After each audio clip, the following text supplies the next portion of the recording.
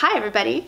Welcome to a very, very quick video from me. Self-promotion is the hardest thing about social media. It sucks. Do you wanna know why? If you were raised like I was, you were taught your entire life not to think too much of yourself and not to let anyone else think too much of you. If you're a woman, you've been told to pipe down your whole life. So I'm pretty much screwed. Either way, I'm here to tell you about the new acaseofthejills.com and my new ebook. This new ebook was something that I did not plan on.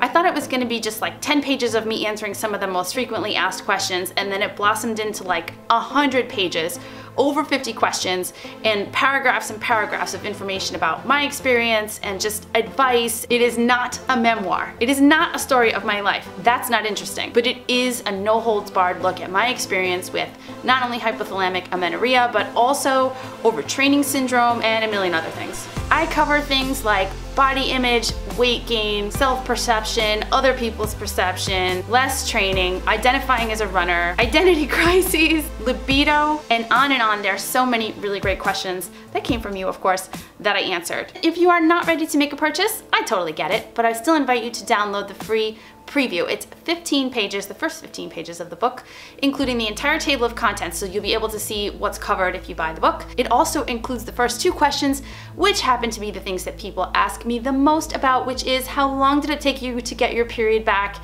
How much weight did you gain and how did you deal with the weight gain? So you can find all of that on caseofthejills.com right now. Okay, self-promotion aside, all of this would not be what it is without you. Thank you so much for being a part of this community and I really, really hope that you reach out and tell me if you like the book, also, if you have video suggestions, and guess what? We are taking submissions on the website now. So if you would like to share your story, why don't you drop me a line and tell me about it? Okay, see how quick that was?